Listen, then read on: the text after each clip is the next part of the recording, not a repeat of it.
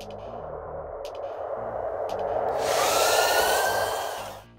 everyone, this is Joe at QuadSpex and today we're going to do some motor thrust tests for the 7x16mm 17,000 kV motors from Micro Motor Warehouse. So a big shout out to Benedict and his crew over at Micro Motor Warehouse.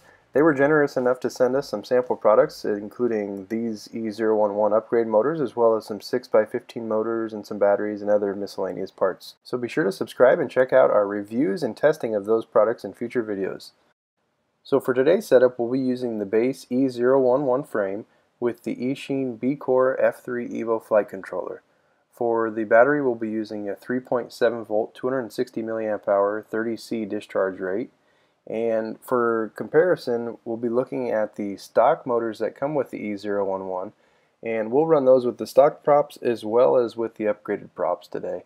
And then finally, we'll be looking at the Micromotor Warehouse 17,000 kV upgrade motors and see what they can do with the Raycon upgraded props as well.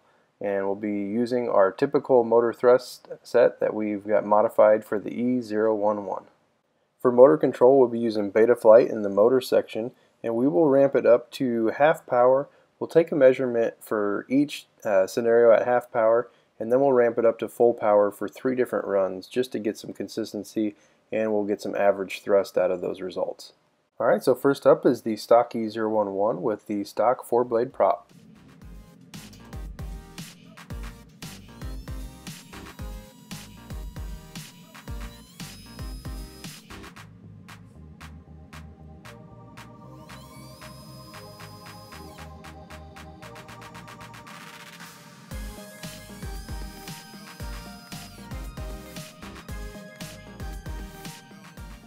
And next up is the stock motor with the upgraded Raycon 3-blade prop.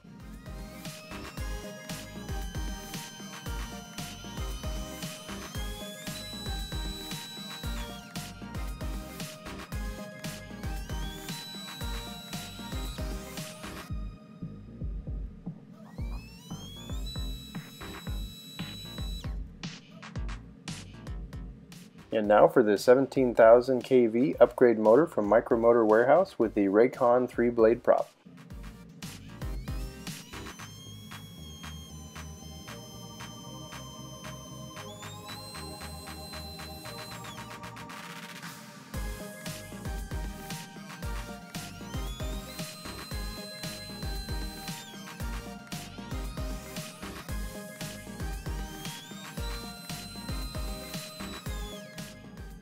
Alright, so here we have the final results. We've got the average thrust of a single motor as well as the total thrust for four motors.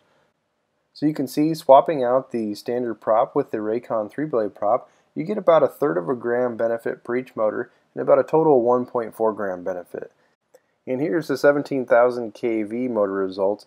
And the main thing to take away here is that the difference between the stock motor with the Raycon prop and the upgraded motor with the Raycon prop, you're getting about 1.2 grams of extra thrust for each motor, coming out to about 4.8 grams total. So this is a pretty big jump compared to what we were expecting because the stock motors are 60,000 RPM and if you calculate these out, these are about 63,000 RPM. So they're not really spinning at that much faster of a rate, but you are getting quite a bit of performance for that little bit of bump in RPM.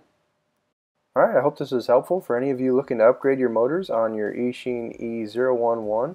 And be sure to check back for our review of the 6x15mm 17,000 kV motors as well as the 6x15 19,000 kV motors from Micromotor Warehouse.